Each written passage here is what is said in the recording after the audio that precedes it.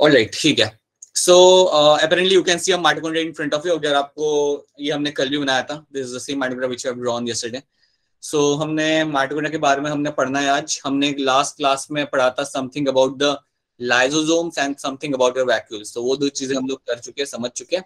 आज हमें चालू करना है हमारा माइटोकॉन्ड्रिया से एंड होपफुली हमें क्लोरोप्लास्ट भी आज कवर कर लेंगे। So let's have a look over here यहाँ पे हम लोग देखते हैं। अगर स्क्रीन पे मैं कुछ लिख रहा हूँ, अगर वो ना दिखे तो भी बता देना कि सर या समथिंग इज़ हैपनिंग ठीक है? फ़िलहाल मैं कुछ नहीं लिख रहा हाँ। जी। सो so, अभी यहाँ पे हुआ क्या? सो so, ये आपका माइक्रो माइटोकॉन्ड्रिया का आपको एक पिक्चर यहाँ पे दिख रहा है। एंड uh, जब भी हम माइटोकॉन्ड्रिया की बात करते हैं तो कुछ चीज़ें हमें याद आती है like you basically call it as a power house of cell ये चीज़ हम सब लोग बचपन से जानते हैं। और ये कहा इसलिए जाता है? Because they are known to good evening good evening was that by the way ठीक है। They are known to make ample amount of ATPs ये बना सकते हैं आपके कई सारे एटीपीज एंड इसलिए हमें कहा जाता है कि they are my power house of cell तो ये एक चीज़ें आप जानते हो, काफ़ी पहले से। कुछ चीज़ें जान लेते हैं माइटोकॉन्ड्रिया के बारे में, कि पहली चीज़ आपको ये मिलेगा देखने के लिए यू विल फाइंड कि इनका जो नंबर रहेगा, वो वेरी करेगा cell to cell So, their number is going to vary from cell to cell.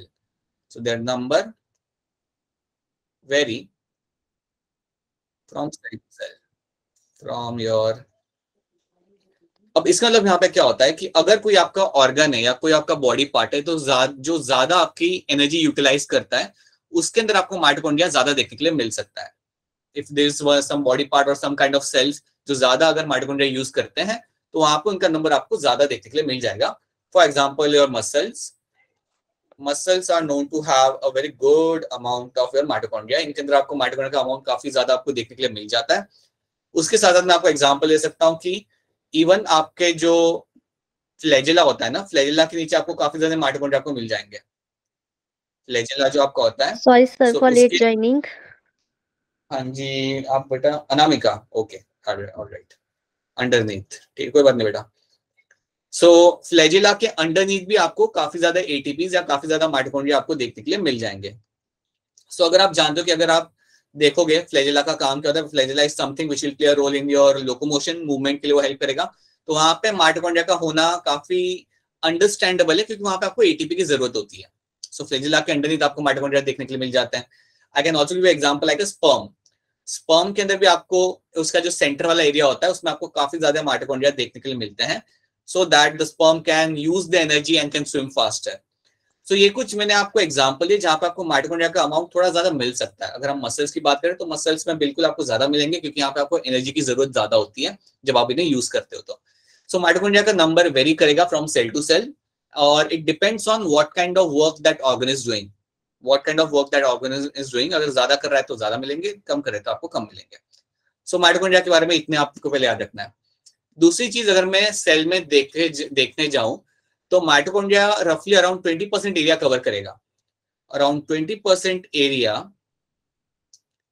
in cell is covered by mitochondria इतना एरिया आपके सेल के अंदर कवर करता है आपका माइटोकॉन्ड्रिया सो so, काफ़ी अच्छा एरिया यहाँ पे लोग कवर कर रहे होते हैं।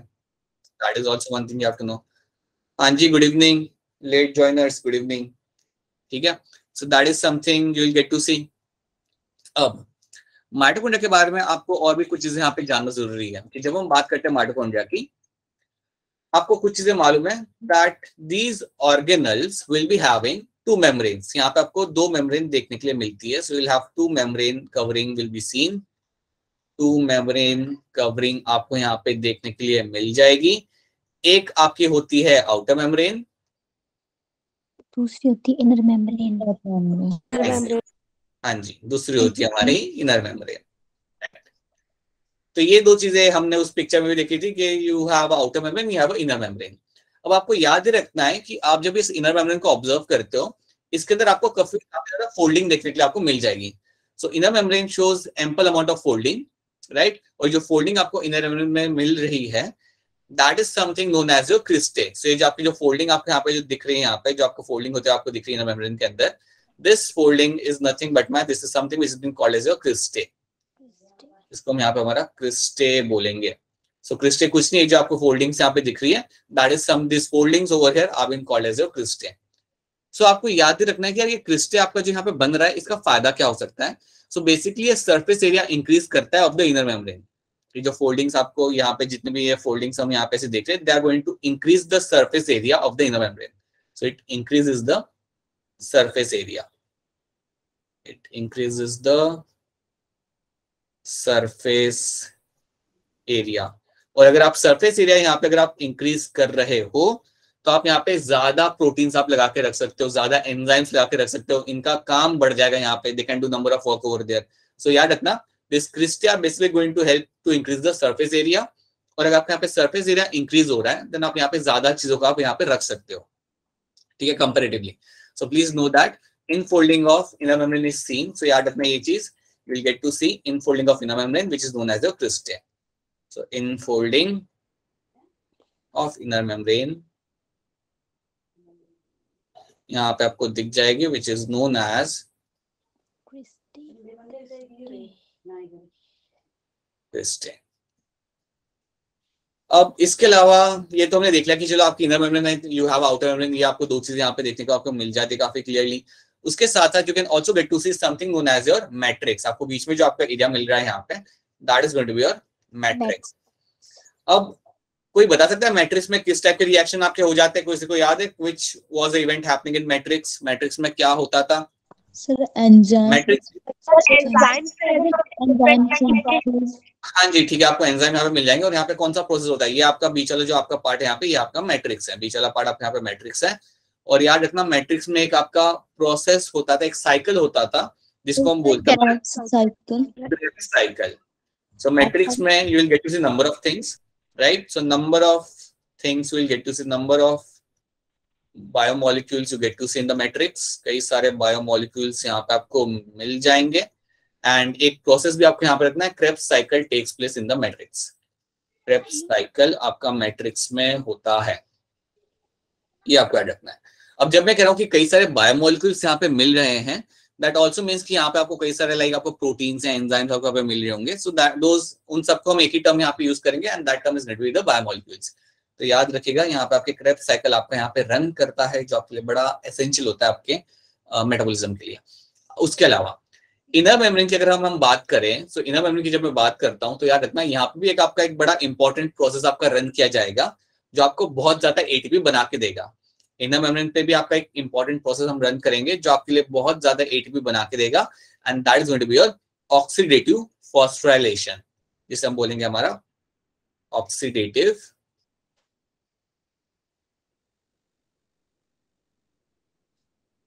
फॉस्फोराइलेशन ये अगर आपने पढ़ा नहीं है तो कोई बात नहीं, आप चैप्टर 14 में से पढ़ोगे राइट ये आपका जो प्रोसेस होता है, ये बेसिकली आपको हेल्प करता है to make a large number of ATPs काफ़ी ज़्यादा एटीपीज बनाने के लिए आपका ये प्रोसेस आपका यूज़ किया जाता है।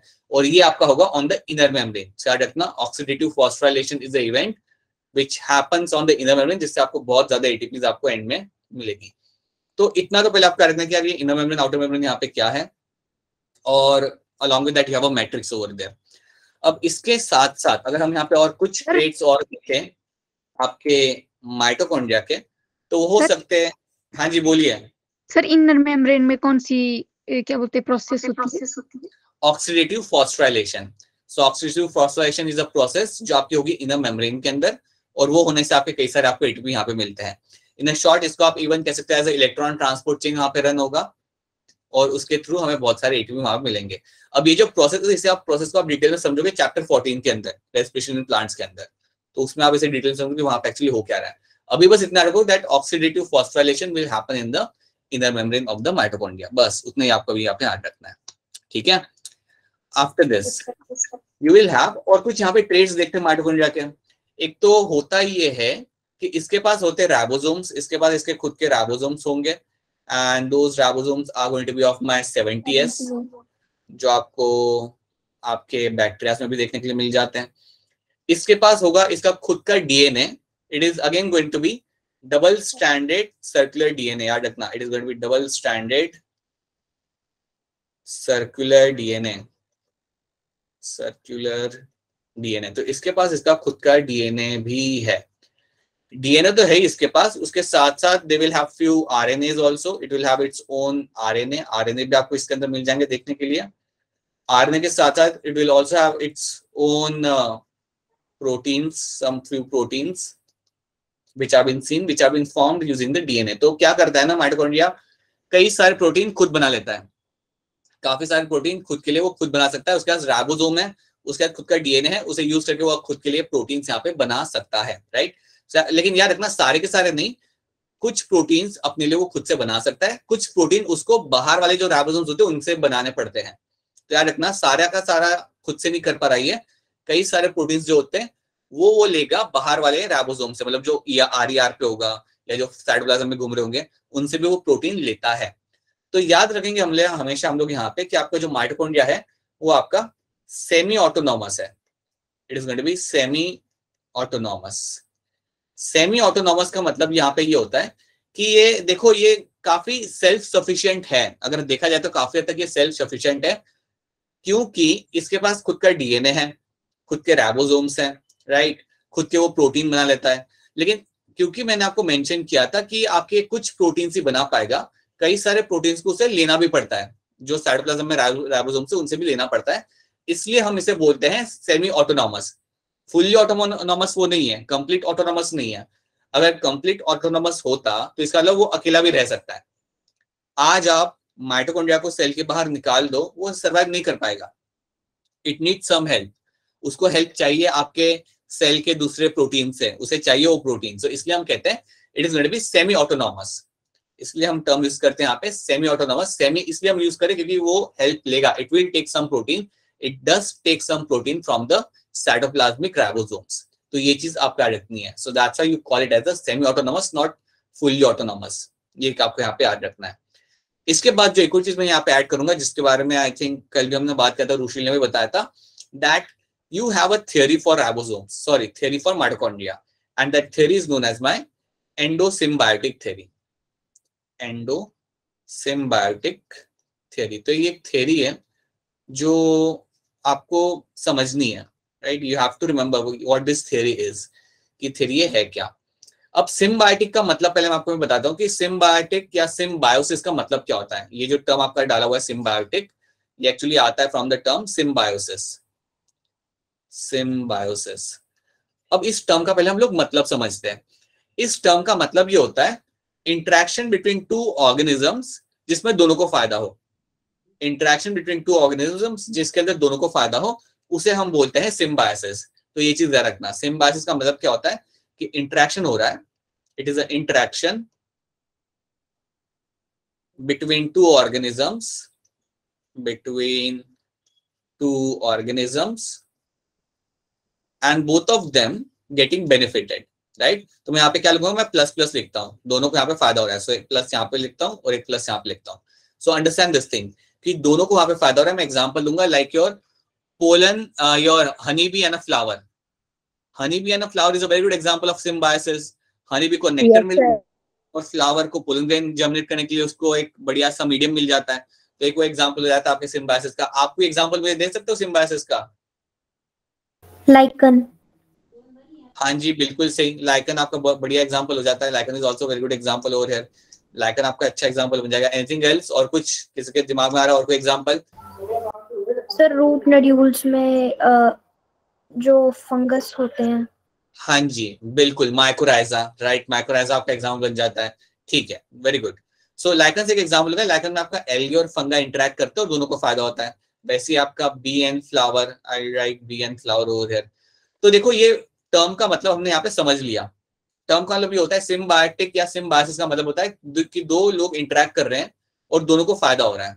लाइकन्स में फ़ायदा लाइकन्स में आपका एल्गी और फंगाई होगा और दोनों को फ़ायदा होता है वहाँ पे।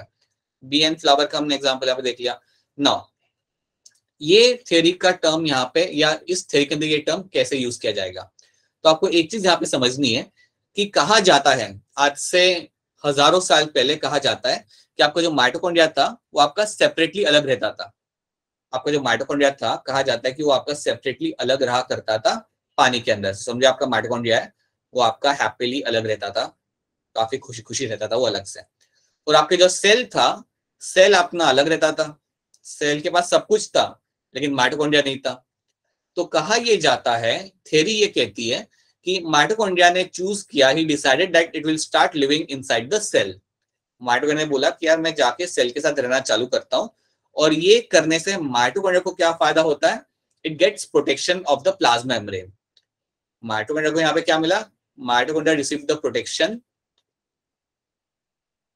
of plasma membrane इसको प्लाज्मा मेम्ब्रेन की प्रोटेक्शन यहाँ पे मिल गई।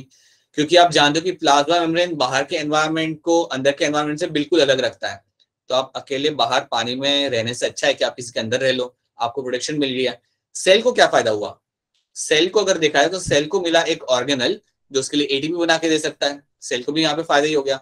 सेल को यहाँ पे फ़ायदा ये हो रहा है कि cell got someone who can make a large number of ATPs ATPs यहाँ पे आपको मिल रही है उसके वजह से।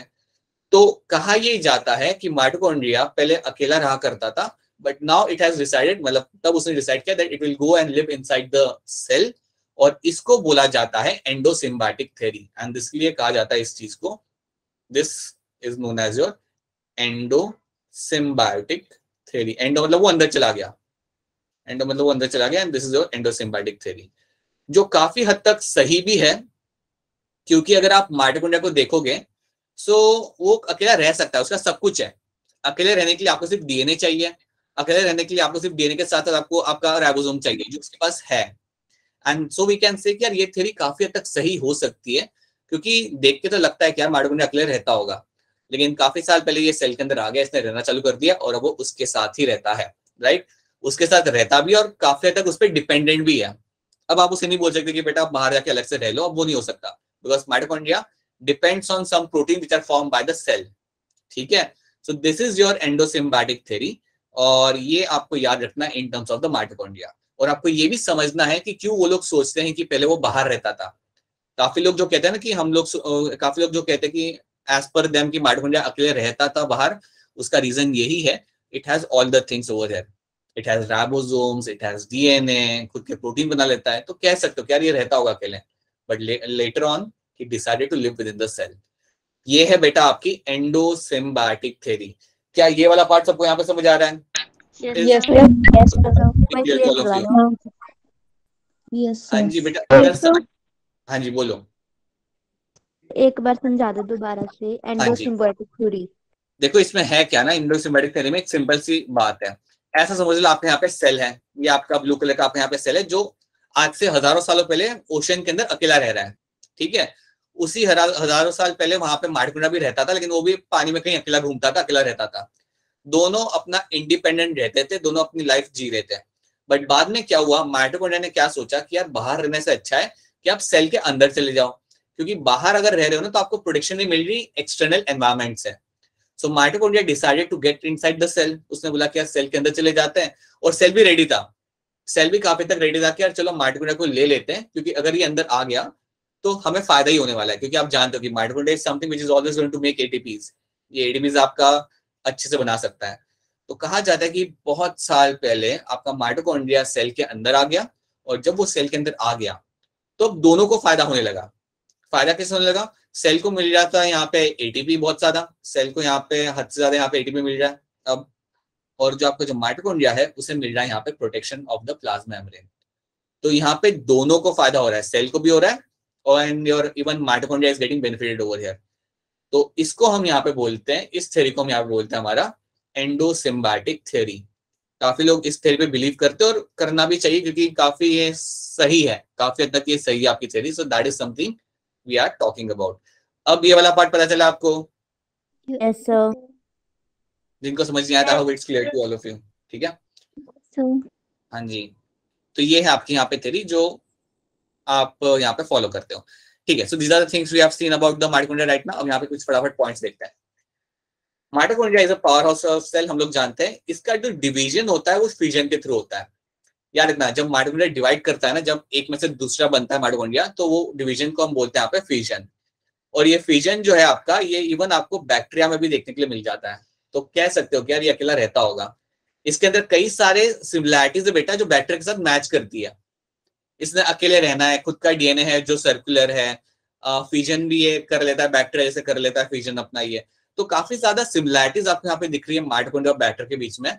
तो कह सकते हो कि यार ये सही में काफ़ी हज़ारों सालों पहले अकेला रहता होगा right because it has some similarities with the bacteria so that is going to be one thing then presence of outer membrane inner membrane ये लोग हम ये चीज़ हम जानते हैं। Inner folding of inner infolding of inner membrane increases the surface area और उसकी वजह से हाँ जी बोलिए। क्वेश्चन बोलिए। अच्छा। No sir will increase the surface area and that ultimately is going to be that is something which has been also been called as your Christe and Yes. will help in having number of enzymes over there और वो आपका आपके basically biochemical process करने में आपको ये help करता है। मैट्रिक्स हम जानते हैं। हाँ ये देख लो।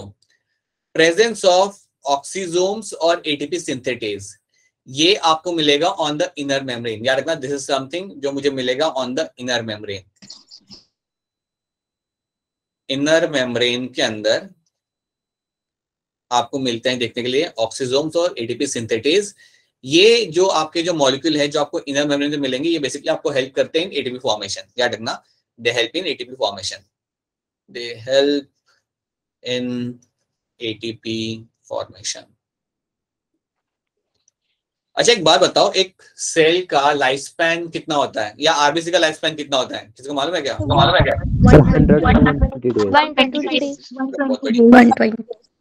मालूम है? फिर क्या होता है? वन ट्वेंटी डेज़ के बाद उसका क्या होता है? उसकी डेथ कैसे होती है? कुछ आइडिया लगा सकते हो? कुछ इमेजिन कर सकते डेथ कैसे होती सर जो पुराने सेल होते हैं उसी से न्यू सेल की फॉर्मेशन होती है। यार आरबीसी तो नहीं कर सकता एक साथ क्योंकि आरबीसी तो जानते हो उसका तो न्यूक्लियस भी नहीं होता। उसने कहा डिवाइड करना है? तो वो तो होगा नहीं। फिर क्या होगा उसके साथ?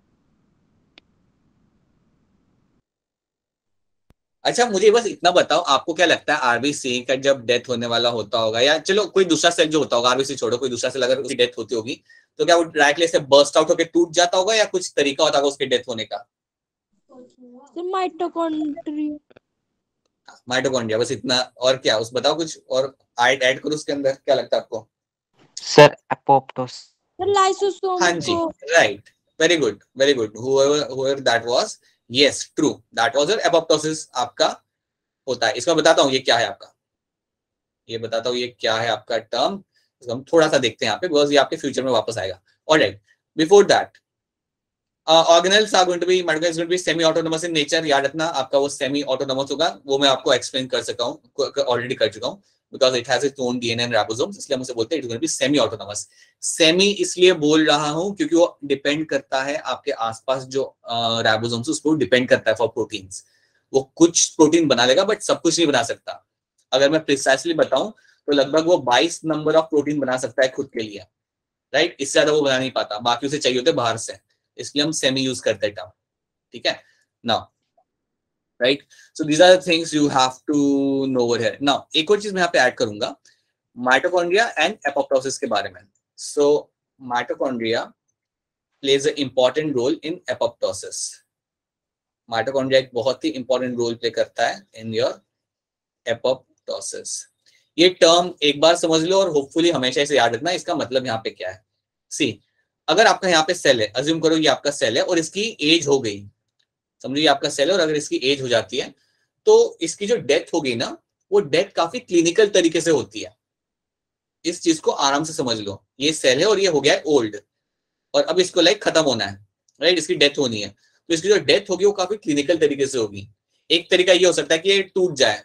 सडनली ऐसे बर्स्ट हो जाए ये पूरा के पूरा। और बर्स्ट होने से होगा क्या? कि सारा इसके अंदर का जो कंटेंट है, वो बाहर निकल जाएगा। सारा कंटेंट बाहर आ गया एंजाइम्स बाहर आ गया सब कुछ बाहर आ गया और वो डैमेज कर रहे हैं आजू बाजू वाले सेल्स को। तो ये तरीका सही नहीं होता। That's not how the cell has to die ऐसे सेल को उसकी डेथ नहीं होनी चाहिए। It has to be killed in a very clinical way तो उसे हम बोलते हैं program cell death the cell has to undergo a very clinical death जिसे मैं कहता हूँ program cell death program cell death का मतलब ये होता है कि आपने क्या करना है? आपने सारे ऑर्गेनल्स को, पहले तो डाइजेस्ट करना है, खत्म करना है, फिर मेम्ब्रेन को भी क्लिनिकल तरीके से डाइजेस्ट करना है, खत्म करना है और इस तरीके से आपके सेल्स इस तरीके से आपके सेल को आपको किल करना है कि कोई डैमेज ना हो आजू बाजू वाले एरिया के अंदर। उसे हम बोलते हैं प्रोग्राम सेल डेथ उसे हम बोलते हैं प्रोग्राम सेल डेथ और ये जो प्रोग्राम सेल होती है, ये करने में आपको हेल्प करता है आपका mitochondria this is something done with the help of the mitochondria तो माइटोकॉन्ड्रिया से ही सिग्नल आता है कि चलो भैया, बहुत एज हो गई तुम्हारी it's time to kill yourself in a very clinical way ठीक है? और वो क्लिनिकल वे में मारने के लिए आपका माइटोकॉन्ड्रिया कुछ सिग्नल्स देगा, कुछ प्रोटीन देगा and then the cell will start killing itself ठीक है? और इसको हम बोलते हैं, ये जो प्रोग्राम सेल डेथ है, इसके लिए एक टर्म यूज़ किया जाता है बायोलॉजी के अंदर, और वो टर्म है आपका यहाँ पे apoptosis so apoptosis basically means your programme cell death ये टर्म से आप वाकिफ हो जाओ, ये टर्म काफ़ी इंपॉर्टेंट है आपके लिए, क्योंकि आप इवन जब कैंसर पढ़ोगे ना, ये टर्म आपके सामने आएगा। और ये टर्म एक बार आप समझ लोगे तो कई बार अगर मैं ये टर्म को रिपीट करता हूँ तो आपको पता चलना चाहिए कि मैं क्या बात कर रहा हूँ। सो so, ये होता है आपका एपोप्टोसिस प्रोग्राम सेल डेथ एक सेल को किल करना या सेल की डेथ होना क्लिनिकल तरीके से जिससे आसपास कोई डैमेज ना हो। That is no something known as your apoptosis जो आपका माइटोकॉन्ड्रिया करने में हेल्प करता है। क्या ये वाला पार्ट समझ आ रहा है सबको? Is this part clear to all of you Yes, sir. Yes, sir. Yes, sir. That is something which has been happening over here this is going to be very important in terms of like understanding few topics in future so ये आपको ये कर रहा है इसके अलावा हम लोग जानते हैं कि यार माइटोकॉन्ड्रिया ने और क्या आपको करके देना है so along with this you know it plays a very important role in your aerobic respiration so अगर हम roles की बात करें so aerobic respiration आपका होता है in your mitochondria aerobic respiration मतलब वो होता है बेटा जहाँ पे आप ऑक्सीजन यूज़ करके आप एटीपी बना रहे हो right so aerobic respiration will be taking place in the mitochondria that's one thing you have to know फिर हमने यहाँ पे बात कर ली अबाउट द एपोप्टोसिस की हमने यहाँ पे बात कर ली, वो भी आपका यहाँ पे होता है। उसके साथ साथ, few amino acids are also being formed in the mitochondria. कुछ amino acids, few amino acids are formed in mitochondria. So, कुछ amino acid भी आप इसके अंदर बनाए जाते हैं। ठीक है? तो ये भी याद रखना कोई, कुछ होते एक दो दो तीन अमानो एसिड जो आपके माइटोकॉन्ड्रिया के अंदर बनाए जाएँगे। So that's one thing which will happen apoptosis मैंने आपको समझा दिया। एरोबिक सिंपली मींस ये करा जाता है, इसका अल्टीमेट एम भी बेटा ये होता है, बहुत ज़्यादा एटीपी बनानी है आपको यहाँ पे। So to make a large amount of ATP आप यहाँ पे करते हो आपका एरोबिक रेस्पिरेशन तो इतना आपको इसके अंदर याद रखना है in terms of the rules so these are going to the rules of your mitochondria जिसको लेके आपको कोई तकलीफ़ नहीं आएगी। अब यहाँ पे कुछ स्टेटमेंट है जो मैंने एनसीआर एनसीआरटी से उठाई है जो आप एक बार फटाफट देख लो। The number of mitochondria per cell is going to be variable depending on the physiological activity of the cell जो मैं आपको ऑलरेडी पहले मेंशन कर चुका हूँ जैसे आपका सेल की एक्टिविटी होगी, उसके ऊपर डिपेंड करेगा कि उसका नंबर कितना होगा। In terms of shape and size considerable degree of variability is observe ठीक है? Typically it is sausage shape cylindrical having a diameter of 0.2 से लेके 1 माइक्रोमीटर तक right and length is going to be around length is going to be around 1 to 4.1 micrometer so that is the length and that is the diameter which is mentioned अब generally generally means I haven't seen in last like seven eight years कि वो लोग length के ऊपर based question पूछते हैं right but still ये NCERT में दिया हुआ है तो इसको आप देख लिया करो एक बार हाँ ये आ सकता है कि उसका शेप क्या होता है सॉचेज शेप होता है सिलेंड्रिकल होता है ये स्टेटमेंट में आ सकता है बट जो भी है, अगर एनसीआरटी में दिया हुआ है देन आपकी आँख उस पर रहनी चाहिए। You should go through that thing तो ये एक बार आप देख लेना हमेशा। This are some of the basic thing been mention ये कुछ उसके डायनामिक्स के बारे में उन्होंने यहाँ पे बताया है, बस। So ये हमने यहाँ पे देख लिया। Now will just see one more thing over या these are the things you have to know basically these are the things you have to know in terms of your mitochondria.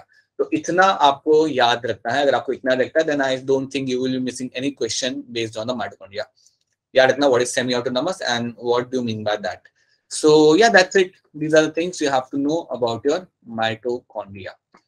इसके बाद जो अगली चीज़ हम यहाँ पे समझेंगे अच्छा just want to add one more thing in this याद रखना इवन जो आउटर मेम्ब्रेन होती है ना माइटोकॉन्ड्रिया की it is similar to your bacteria यहाँ पे लिख देता हूँ. So even the outer membrane even the outer membrane is similar to bacterial outer membrane, is similar to bacteria ये बैक्टीरिया से काफ़ी हद तक सिमिलर होती है। एक और ट्रेट जिससे हम कह सकते हैं कि यार दोनों काफ़ी सेम सेम है दोनों में कई सारी सिमिलरिटीज आउटर मेम्ब्रेन माइटोकॉन्ड्रिया की और बैक्टीरिया की काफ़ी हद तक आप यहाँ पे सेम आपको मिल जाएगी देखने के लिए अगर आप उसे ऑब्ज़र्व करते हो तो। So that's one thing right after this we have to jump on to your plastics अब हमने यहाँ पे देखना हमारे प्लास्टिक्स को जिसमें हमारा यहाँ पे आएगा क्लोरोप्लास्ट और दूसरे टाइप के प्लास्टिक्स यहाँ पे आ जाएँगे। अच्छा पहले मुझे ये बताओ, सब कुछ छोड़ो, और मुझे ये बताओ, क्या मुझे प्लास्टिक्स प्लांट के हर एक पार्ट में दिखेंगे या कुछ ही पार्ट में दिखेंगे मुझे? क्वेश्चन यहाँ पे ये है। प्लास्टिड्स जो होते हैं, जब भी प्लास्टिक सामने आपके टर्म आता है तो आपके दिमाग में आता है सबसे पहले आपका क्लोरोप्लास्ट और भी चीज़ें होती है वैसे। आप मुझे ये बताओ कि क्या मुझे ये प्लांट के लीफ में मिलेंगे और भी कहीं मुझे मिल सकते हैं? मिल सकता है लीफ मिल सकते हैं लीफ में। किसी ने बोला है काफ़ी स्ट्रांगली कि भैया लीफ में मिलेंगे और कहीं मिलेंगे। मैं कह रहा हूँ रूट्स में मिल सकते हैं नहीं मिल सकते हैं? क्या नाम मिल सकते हैं मिल सकते हैं। मिल सकते हैं। मिल सकते हैं। सर मिल सकते हैं। मिक्स आंसर है ठीक है ठीक है। Suman is saying no Suman is saying yes ठीक है। स्टेम में मिलेंगे नहीं मिलेंगे? स्टेम के अंदर। मिलेंगे। सर मिलेंगे। स्टेम भी Yes, sir. स्टेम में भी let's see Suman is saying yes most of you are saying yes stem में तो मिल सकते हैं? लीव्स में तो ठीक है चलो यार मिलते हैं। लीव्स में तो सबका ये चलेगा लीव्स में तो आपको मिलने ही मिलना है। इसमें कोई दिक्कत वाली बात नहीं है। अच्छा अब सुनो। प्लास्टिक्स आपको प्लांट के हर एक पार्ट में आपको मिल जाएँगे। प्लास्टिक्स आपको प्लांट के हर एक पार्ट में आपको मिल जाएँगे। इवन रूट्स में भी आपको देखने के लिए आपको मिल जाएँगे वो। लेकिन उनका काम कोई फोटोसिंथेसिस वाला नहीं होगा। उनका काम होगा वहाँ पे स्टोरेज का।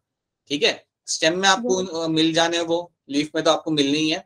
बट याद रखना प्लास्टिक्स का काम, जब आप प्लास्टिक टर्म आता है तो आपके दिमाग में आता है सिर्फ़ फ्लोरोप्लास्ट बट और भी टाइप्स होता है। It has some more types और उनका काम जो रहेगा यहाँ पे, वो स्टोरेज का होगा। उनका काम कोई लेना देना है नहीं फोटोसिंथेसिस के साथ। तो यस आपको देखने के लिए मिल सकते हैं। आपको बिल्कुल प्लास्टिक मिल सकते हैं रूट्स के अंदर भी। रूट्स के भी अगर सेल्स निकाल के आप देखोगे तो आपको चांसेस है you will get to see plastics over there right वो कलर नहीं दे रहे वहाँ पे। वो फोटोसिंथेसिस वहाँ पे नहीं कर रहे but they can have a role of storage storage में वो लोग काम कर रहे होंगे वहाँ पे. सो याद रखना प्लास्टिक्स आपको मिल सकते हैं.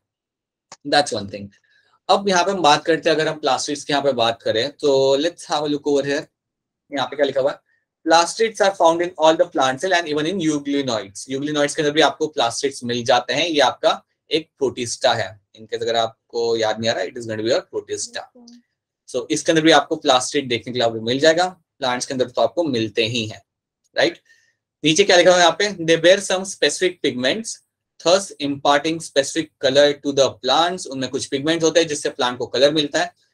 Based on the types of pigment and plastic can be classified into chloroplast chromoplast and leucoplast ये सब इग्नोर करो, इसको हम वापस से देखते हैं।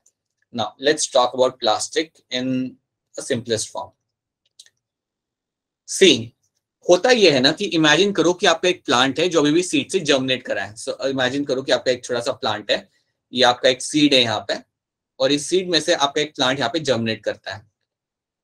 और आपके यहाँ पे प्लांट छोटा सा आपके यहाँ पे जर्मिनेट करेगा। आपको ये चीज़ याद रखनी है कि प्लांट के अंदर आपको प्लास्टिक या प्लांट के हर एक सेल में आपको प्लास्टिक मिलेंगे but they will be in a form of your proplastics they will be in a form of your proplastics अब ये प्रोप्लास्टिक क्या होता है, इसको समझ लो। इमेजिन करो कि एक प्लांट अभी अभी निकला है सीड में से और उसके सेल्स के अंदर है प्रोप्लास्टिक्स ये प्रोप्लास्टिक्स जो आपके होते हैं, समझ लो ये मैं आपको बनाता हूँ, समझो आपका ये एक प्लास्टिड है this is this is my proplastid अब इसके अंदर से अलग अलग टाइप के प्लास्टिक बन सकते हैं। तो ये जो प्रोप्लास्टिक जो मेरा लीफ के अंदर होगा, अगर ये मेरा प्रोप्लास्टिक मेरा लीफ के अंदर है तो जैसे ही वो सनलाइट के कॉन्टेक्ट में आता है ना what will happen it will turn into your chloroplast this proplast will turn into something else and that something else is going to be your chloroplast. So, इसने बन जाना है यहाँ पे अपना chloroplast. यही प्रोप्लास्टिक रूट्स के अंदर क्या करेगा? In roots this proplastic will turn into something else ये बनेगा आपका स्टोरेज वाला plastic like your leucoplast so roots के अंदर इसने कुछ और बन जाना है और रूट्स के अंदर वो आपका बन जाएगा समथिंग लाइक योर ल्यूकोप्लास्ट जिसका काम होता है आपका यहाँ पे स्टोरेज करना चीज़ों का। तो यहाँ पे समझाना मैं आपको ये चाहता हूँ कि जो आपके प्लास्टिक होते हैं ना, वो बनते किसमें से? They are form from the proplastics चाहे जो भी आपके टाइप हो। आपका क्लोरोप्लास्ट हो ल्यूकोप्लास्ट हो, या फिर आपका समथिंग क्रोमोप्लास्ट हो। They are all are going to be form from your proplastic ये सारे के सारे आपके जो होते हैं they are all going to be form from the proplastic में से ही इनको बनना है। कई बार अगर आप एक नए प्लांट को, अगर आप सनलाइट प्रोवाइड नहीं कर रहे देन आपका क्लोरोप्लास्ट वहाँ पे बनेगा नहीं। और अगर वो क्लोरोप्लास्ट बन नहीं रहा तो आपके जो प्लांट होगा ना, उसमें आपको लाइक येलो कलर ही दिखेगा, आपको ग्रीन दिखने भी नहीं वाला। कभी ट्राई करना, कभी सीड को जर्मिनेट कराना डार्कनेस के अंदर। अगर आप सीड को जर्मिनेट करा रहे हो डार्कनेस के अंदर तो पूरा येल्लो ही रहता है। You will just see long structure वो पूरा येल्लो रहेगा, उसमें आपको ग्रीन कलर मिलेगा ही नहीं। क्यों नहीं मिलेगा? क्योंकि वो प्रो प्लास्टिक क्लोरोप्लास्ट में कन्वर्ट ही नहीं हुआ। जो आपका जो प्लास्टिक था वहाँ पे it will usually convert under the influence of sunlight वो आपका होता ही नहीं है तो आपको ग्रीन कलर आता ही नहीं है। सो ये चीज़ है रखना कि प्रो प्लास्टिक तो आपको हर एक सेल में मिलेगा और इसमें से ही आपके अलग अलग टाइप के आप प्लास्टिक बनते हैं एज पर द रिक्वायरमेंट अब मैं आपको एग्ज़ाम्पल देता हूँ कि आप मैंगो देख लो। मैंगो का जो कलर आता है मैंगो का जो ऑरेंज ग्रीन जो आपका येलो कलर आपका आता है मैंगो के अंदर वो कलर आपका आता ही है क्योंकि आपके यहाँ पे जो प्रो प्लास्टिक थे वो कन्वर्ट हो गए इंटू द क्रोमोप्लास्ट क्रोमोप्लास्ट का कर, काम क्या होता है? To impart colour to impart colour ये इसका काम होता है। तो वो as per the role it will convert as per the role as per the location that will convert right अच्छा मुझे ये बताओ आप लोग मुझे सोच के बताओ कि यार ये मैंगो का कलर क्यों आता है? मतलब मैंगो फ्रूट अगर ग्रीन ही रहता तो उससे दिक्कत क्या? मतलब अगर ग्रीन रहता मैंगो अगर उसका कलर नहीं होता ऑरेंज या येल्लो तो क्या ही फ़र्क पड़ता? Like why nature has given mango yellow और a different colouration than leaves of that same plant क्यों मिलता है मैंगो को colour anyone sir for pollination purpose mango से कैसे पॉलिनेशन करेंगे? मैंगो तो फ्रूट हो गया ना? एनीवन तुम सोचो ना एक प्लांट है पूरा ग्रीन है लेकिन मैंगो जो होते हैं वहाँ पे ऑरेंज होते हैं। So why would nature would make something like that to happen वो क्यों चाहेगा कि यार ये जो फ्रूट है इसको कलर देना है इसको ग्रीन नहीं रखना इसको कलर देना है? ऐसा क्यों होता है? To provide taste to provide what taste yes sir तो ऐसा क्यों कर रहा है यार? प्लांट हमें क्यों टेस्ट दे रहा है? चलो मैंने आपकी बात मान ली कि यार ठीक है आप कह रहे हो क्या टेस्ट के लिए आप थोड़ा उसे दे रहे हो कलरेशन दे रहे हो। चलो एक बात मैंने इसको कंसिडर कर लिया। यार वो प्लांट कर क्यों रहा है? प्लांट को क्या फ़ायदा हो रहा है उससे? सोचो बेटा सोचो प्लांट को क्या फ़ायदा हो उससे? एक मैंगो को कलर देने से प्लांट को क्या वहाँ पे फ़ायदा होगा? People people. This is where the biology part starts. Attract animals. Attract animals right. Very true. ये करा जाता है to attract animals this is something which been done to attract animals और एनिमल्स को अट्रैक्ट क्यों करा जा रहा है? Why you are doing that purpose क्या है प्लांट का? एनिमल्स को अट्रैक्ट करने का रीजन क्या है? The reason is seed dispersal seed dispersal इसका मतलब ये होता है बेटा प्लांट अपने फ्रूट को कलर इसलिए देता है ताकि दूर दूर से एनिमल्स अट्रैक्ट होके आए, उस फ्रूट को उठाए, खाए, लेके जाए and they help in the dispersion of the seeds जो फ्रूट के अंदर सीड होगा, अब वो वहाँ पे नहीं गिरेगा। वो कहीं दूर जाके गिरेगा। क्यों? Because of the animals over there because of the animals वो कहीं दूर जाके गिरेगा एंड वहाँ पे जर्मिनेट करके उस प्लांट का वही एक और प्रोजिनी कहीं दूर ग्रो करेगा और थ्राइव करेगा।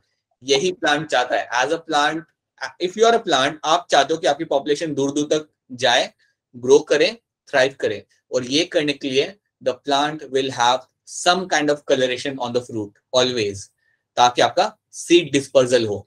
एनिमल्स आपका अट्रैक्ट हो और आपका सीड डिस्पर्जल यहाँ पे हो। समझ आ रहा है आपको वाला part yes sir. Yes sir. Yes sir. Please everything will have a reason बेटा याद रखना हर एक चीज़ का रीजन रहेगा। आपके फ्रूट के कलर होने का रीजन रहेगा। So everything will always have going to have a reason यहाँ पे इसका ये रीजन है कि एनिमल्स को आपको अट्रैक्ट करना और आपको सीड डिस्पर्जल में आपको हेल्प करना है। इसलिए आपके फ्रूट्स जो होते हैं वो कलरफुल होते हैं।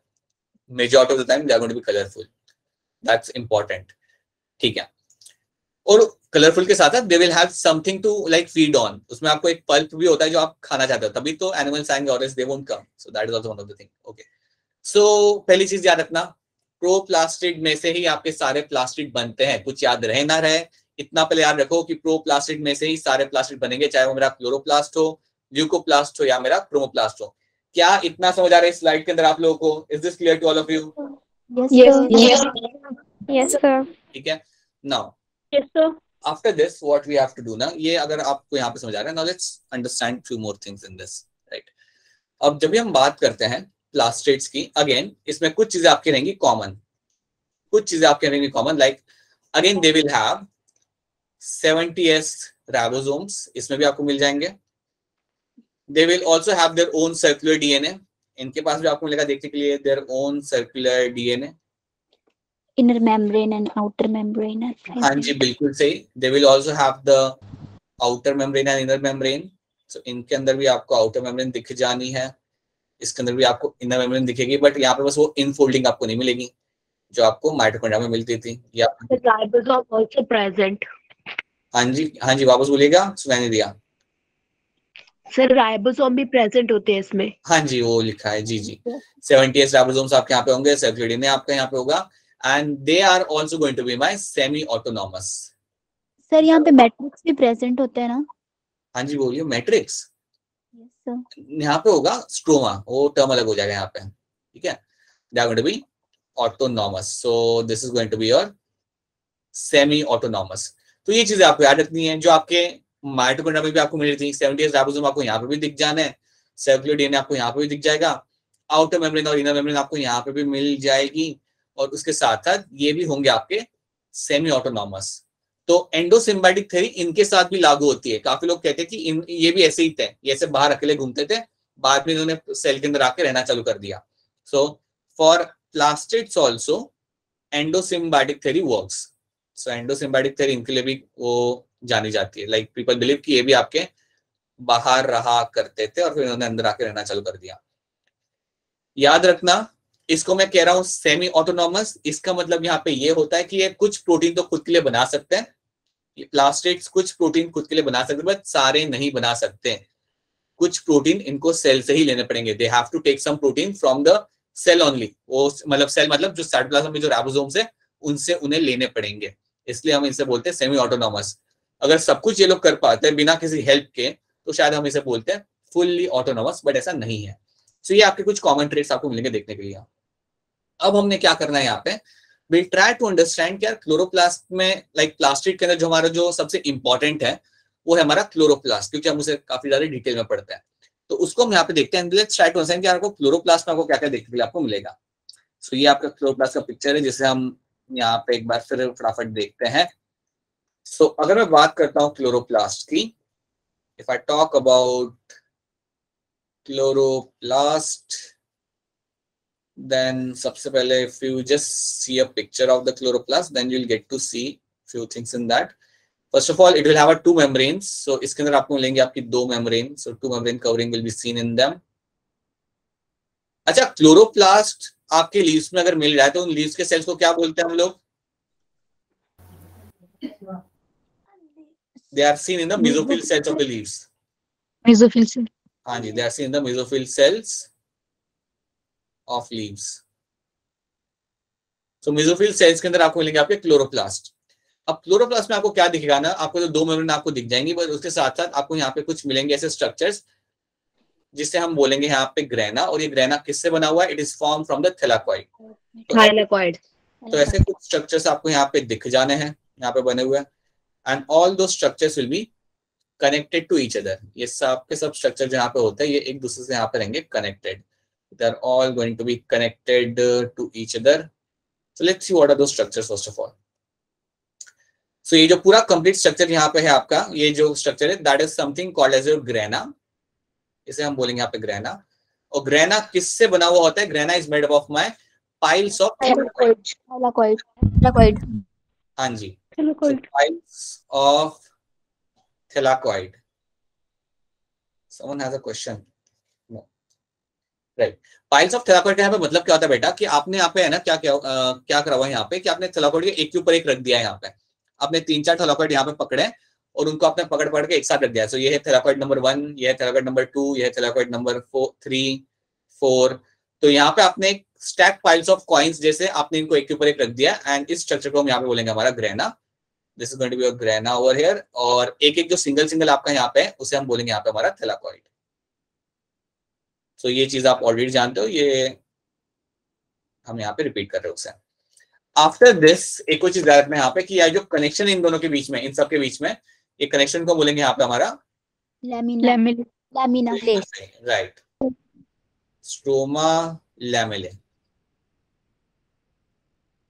तो स्ट्रोमा लैमेले आपका एक कनेक्शन है जो आपके सारे जो ग्रेना है इन सबको कनेक्ट करेगा। So all those granas are been connected to each other with the help of my stroma lamellae और उसके अलावा जो यहाँ पे आपको जो स्पेस दिख रही है, इस स्पेस को आपने बोलना है यहाँ पे आपका stroma this is going to be this all space जो आपकी जो पूरी फ्री स्पेस आपको यहाँ पे दिख रही है, इससे हम बोलेंगे यहाँ पे स्ट्रोमा और स्ट्रोमा में आपको दिख जाएगा आपका सब कुछ your ribosomes DNA all those things you will get to see in the stroma even proteins and all those things will see in the stroma तो पहले आपको याद रखना है कि हाँ ठीक है, आपका जो क्लोरोप्लास्ट है, उसमें आपको ग्रेना दिख रहा है थेलाकॉइड दिख रहा है आपको आपको स्ट्रोमा दिख रहा है and then you have a double membrane covering these are the things you have to first of all remember in this कि सर्कुलर होता है। बोलिए वापस से क्या? डीएनए हाँ डीएनए सर्कुलर रहेगा। DNA circular double standard sir इसमें। स्टार्च होगी। क्या होगी? सर स्टार्च स्टार्च स्टार्च यहाँ पे बनेगा लेकिन आप बाद में उसे स्टोर करके रखते हो इन ल्यूकोप्लास्ट ठीक है? बनेगा स्टार्च यहाँ पे आपका बनेगा क्योंकि फोटोसिंथेसिस आपका यहाँ पे ही होना है लेकिन बाद में इसे आप निकाल के रखोगे इन द ल्यूकोप्लास्ट ठीक है?